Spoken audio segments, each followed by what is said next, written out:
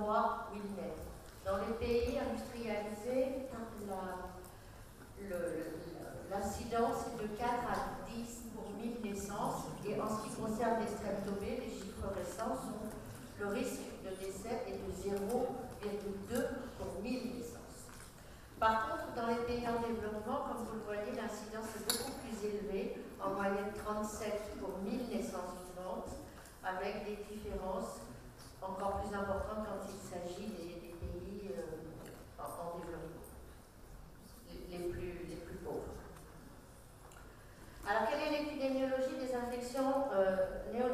d'abord, ce qu'on connaît.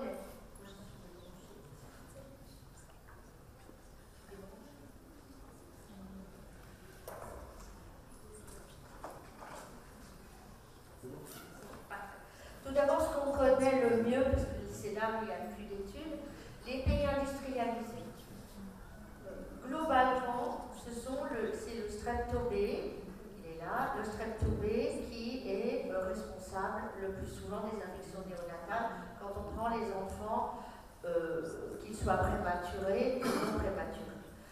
Ensuite, le deuxième germe responsable, c'est le colis. Et vous voyez là, il y a un germe responsable qui est Hémophilus influenzae sur lequel J'aime bien insister parce que souvent on n'y fait pas très attention et ça fait mourir les bébés.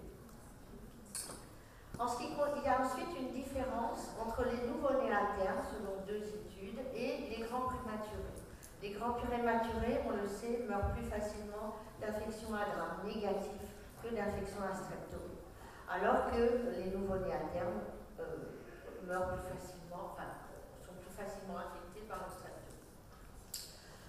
Donc les chiffres de mortalité, ici les chiffres globaux, vous voyez la mortalité lorsqu'un enfant est atteint et présente une infection invasive à streptobé, c'est environ 6, 7 Un colis, c'est beaucoup plus important, 24 Et mon hémophilus auquel je tiens, vous voyez que c'est 15 Ensuite, dans cette étude américaine, on a fait euh, euh, la différence entre enfants, euh, d'une part enfants euh, euh, prématurés de race noire ou enfants prématurés qui étaient de caucasiens.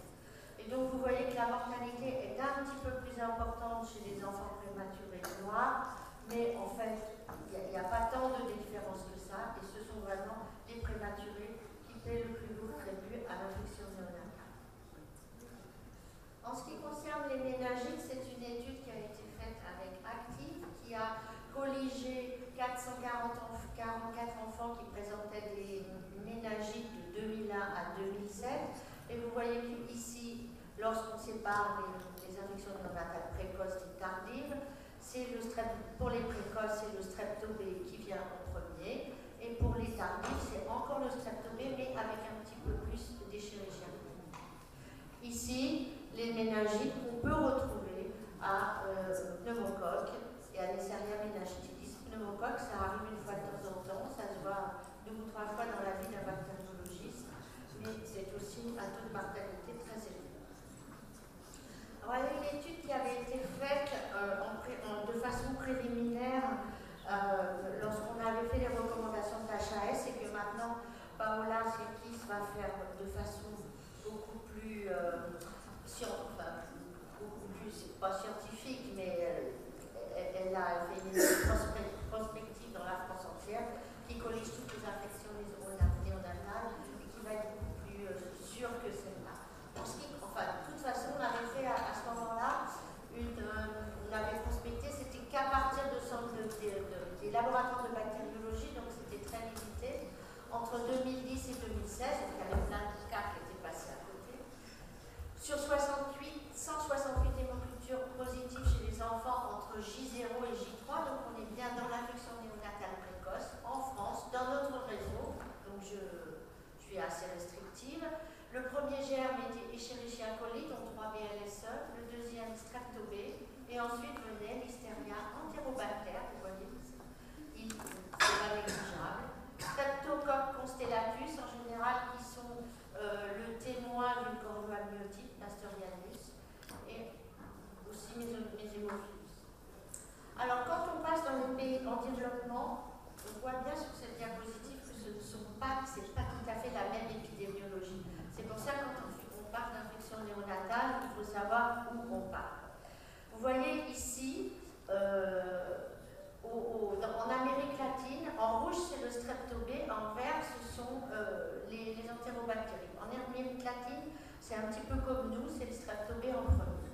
Alors globalement, dans tous les pays en développement, qu'est-ce qui fait mourir un bébé? C'est une entérobactérie, y compris en Afrique bien entendu, avec le stade doré, mais c'est plus. Dans cette étude qui date de 2005, maintenant, dans les quelques études qu'on peut faire, c'est principalement les entérobactéries en Asie du Sud-Est et, euh, euh, au Moyen-Orient.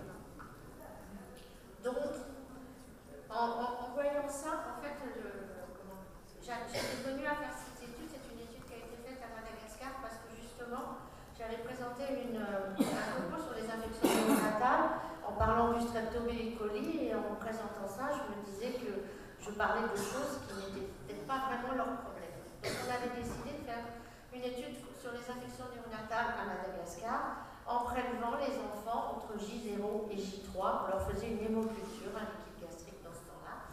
Une hémoculture, mais le liquide gastrique nous a quand même apporté. Et vous voyez que sur 303 nouveau-nés, 76 hémocultures étaient positives s'agissait dans la plupart des cas d'infections entérobactères cloaquées ces entérobactères cloaquées étaient BLS. Il en est de même pour les pneumoniae. Et dans les pays, non, enfin à Madagascar, mais c'est vrai aussi en Afrique, il y a une fréquence moins importante d'infections à strep Là, c'est objectivé, mais c'est objectivé dans d'autres études africaines. Donc, dans ces pays, on remarque bien, comme ce qui a été dit auparavant, prédominance des et comme la, prévalence des BLSE est importante dans ces pays, bien sûr, il y, avait beaucoup de BLSE. Et je voudrais vous faire remarquer que la mortalité dans cette étude était de 25%. Quand on a fait l'étude, l'imipénal n'était pas disponible à Madagascar. Quels sont les facteurs de risque associés à une bactérie à BMR dans cette étude toujours à Madagascar eh Qu'est-ce qu'on a retrouvé Que le facteur de risque principal était un Apgar inférieur à 7. Pourquoi parce qu'il entraînait des manœuvres de réanimation et que ces manœuvres de réanimation n'étaient pas faites du tout selon les règles standards de l'hygiène. C'est pour ça que je vous parlais des liquides gastriques qu'on ne fait plus, qu'il ne faut plus faire. Mais là, ça nous a quand même permis de documenter euh, une infection très précoce, puisque comme euh, cette étude, vous voyez, là c'est 2019, on l'avait faite en 2014-2015, tous les bébés étaient systématiquement aspirés en naissant, mais euh, aspirés avec une, eau qui n'était pas forcément très, très stérile. Donc les bébés en fait étaient contaminés vraisemblablement à la naissance quand ils étaient aspirés. C'est pourquoi ces infections sont reliées à un, un agar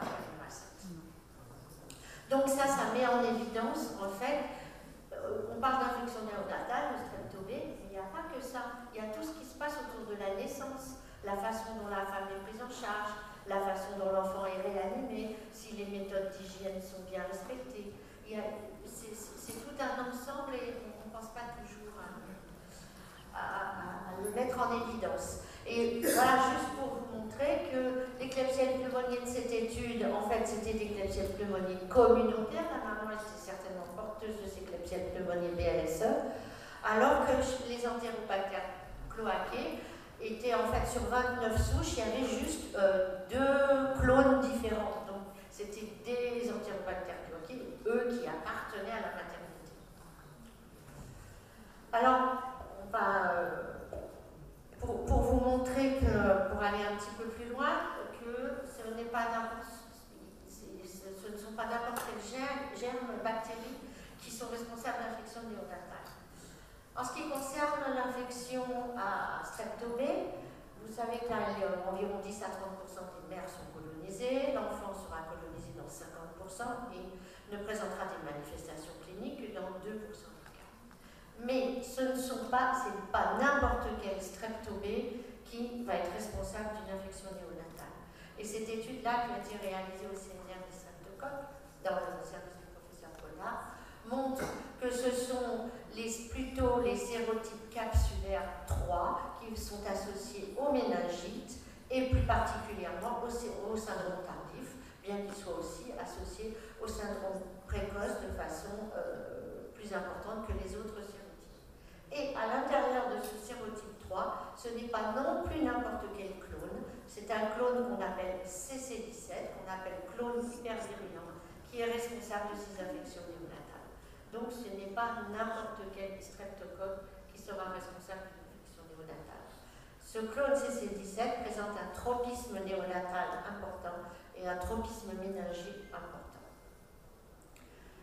Et cette diffusion du clone CC17 est valable dans le monde entier et a été décrit dans un certain nombre de pays. C'est 2019, il y en a certainement euh, beaucoup plus euh, à l'heure actuelle. Il en est de même pour le colis.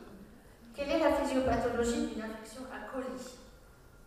Le, nouveau-né est colonisé à partir de la flore maternelle ou de l'environnement. C'est une entérobactérie.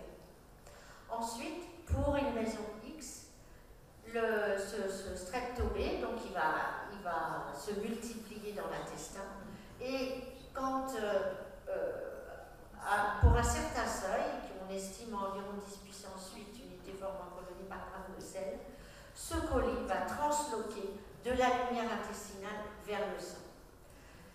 Ensuite, il va se multiplier et selon les facteurs de virulence de la souche et l'immaturité immunitaire du nouveau-né, tous ces facteurs vont faire que dans certains cas, il va pouvoir traverser la barrière ménagée, en particulier si la charge bactérienne est forte.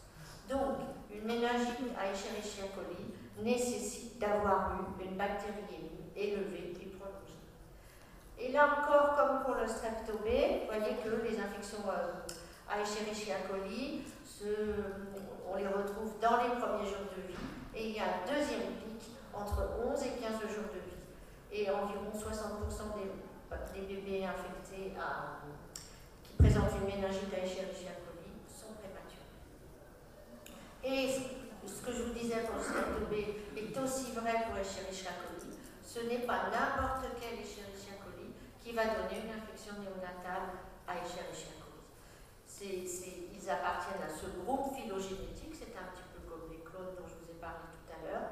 Et les, colis qui appartiennent à ce groupe possèdent des facteurs de virulence que les autres colis n'ont pas. Ils sont uropathogènes, ils sont responsables d'infections abdominales et de méningite.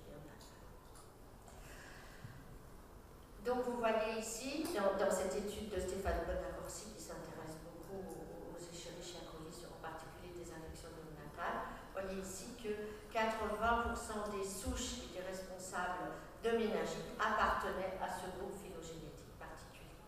Et avec, pareil, un clone à l'intérieur de ce groupe phylogénétique, un clone encore plus particulier. Ah, la problématique, quel est le... Euh, maintenant, il y a quand même un certain pourcentage de poly-BLSE euh, en, en, portage dans la population. Donc, quelle est la prévalence du portage d'entérobactéries chez la femme enceinte? Quel est le, nouveau le risque de transmission pour le nouveau-né? Donc voici euh, un petit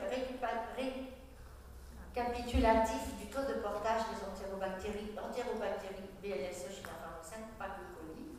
Et vous voyez que ça varie selon les régions. En France, on est environ à 3 à 5% lorsqu'on fait des études donc chez les femmes enceintes, alors que vous voyez à Madagascar, on était à 18% de portage chez la femme enceinte, 15% en Inde et euh, en Afrique euh, noire, 15 à 30%. Le portage vaginal, environ 0,8% des femmes étaient porteuses de ces entérobactéries BLS euh, au niveau du vagin et 6% au niveau du rectum dans une étude argentine. Alors, la transmission au nouveau-né. Dans une étude tanzanienne, ont été étudiées 113 femmes et 126 nouveau-nés il a montré que 15% des femmes étaient colonisées à l'ESE, 24% des nouveau-nés étaient colonisés à J7 de vie, il s'agit de celles le plus souvent de Klebsiella pneumoniae, et surtout 60% ont acquis leur BLSE à J1.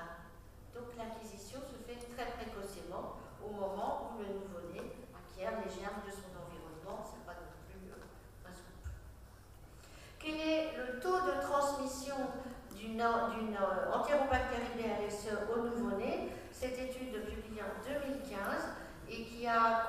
des souches entre le portage rectal, la souche maternelle et la souche de nouveau-né a montré que c'était le même profil et que lorsque la mère était porteuse d'une entérobactérie BNSE, le taux de transmission était de 35%. Importance de l'infection maternelle, bien sûr, dans l'infection euh, néonatale. L'infection, une méta-analyse euh, publiée en 2015 incluant 122 études, montre qu'il euh, y avait une infection maternelle confirmée chez 17% des enfants qui présentaient une infection néonatale. Une autre méta-analyse qui montre un facteur de risque de 6,6 lorsque l'infection maternelle est confirmée.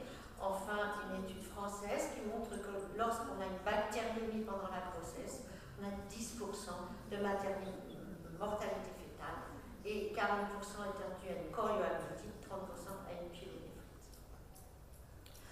Je vous ai parlé tout, à l'heure, euh, parce que je trouve que quand on parle d'infection néonatale, infection néonatale, on est distractobé, on est poli, c'est la maman, c'est la maman. Mais en fait, l'intérêt des études dans les pays en développement où les conditions sont exacerbées, on va dire. C'est pas parce que ça se passe dans les pays en développement que ça se passe pas dans nos pays. Et dans nos pays aussi, il peut y avoir des, fautes d'asepsie. Donc il faut y faire très attention. Parce que l'accouchement est, quelque chose de naturel, mais il euh, faut quand même faire attention autour de l'accouchement. Donc, c'est l'insuffisance euh, de personnel médical le non-accès aux soins l'hygiène, non lavage des mains entre deux patients. On va me dire que dans certaines maternités, même des pays euh, industrialisés, ça n'existe pas une fois de temps en temps. Mélange des matériels propres et réutilisation de matériel jetable, ça c'est plutôt pour les pays en développement. et la circulation de la, des BMR, parce que ça c'est un problème important, est favorisée par le mésusage d'antibiotiques, ça c'est tous les pays. Les conditions d'hygiène hospitalière qui peuvent être aussi le poids des traditions aussi, et le manque de moyens plutôt les pays en développement. En conclusion, donc, comment lutter contre l'infection néonatale précoce Suivi de la femme enceinte, ça ce sont les recommandations de l'OMS et euh, comment qui, c'est le, le, but 4 ou 5, je ne sais plus, qui est la santé de la femme et, du nouveau-né, de la femme enceinte et du nouveau-né. La recherche de la colonisation et la prophylaxie perpartum, vous voyez que ça a été très efficace puisqu'on on est vraiment descendu très bas en taux d'incidence d'infection néonatale à streptobé. La mise en place d'une véritable politique d'hygiène dans les maternités, j'insiste pas assez même. Donc l'équipe d'accouchement, les manœuvres de réanimation du nouveau-né, ça c'est très important, l'éducation. Et la lutte contre la résistance aux antibiotiques, qui est ça, une lutte de tous les jours, et qui n'aime pas que celle euh, pour euh, les infections néonatales, puisque ça en aboutit là, on peut dire en quelque sorte, mais le problème est déjà de la maman qui est colonisée par ces bactéries résistantes. Je vous remercie.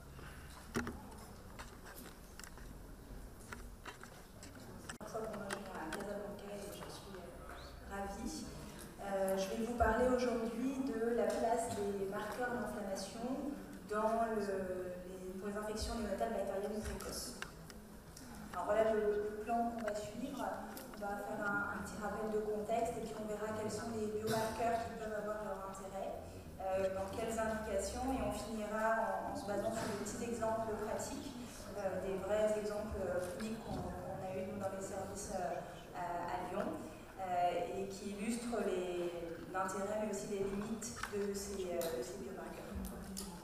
Alors le contexte des infections néonatales bactériennes précoces, c'est celui qu'on connaît tous quand on travaille dans une maternité ou dans un service de néonatologie. C'est-à-dire que le diagnostic d'infection néonatale bactérienne précoce, il va être évoqué très souvent, mais finalement, ces suspicions ne sont pas toujours confirmées. Euh, pourquoi est-ce que c'est difficile de faire le diagnostic euh, d'infection néonatale bactérienne précoce? Parce que c'est un diagnostic qui repose euh, principalement sur des signes cliniques et que ces signes cliniques, ils ne sont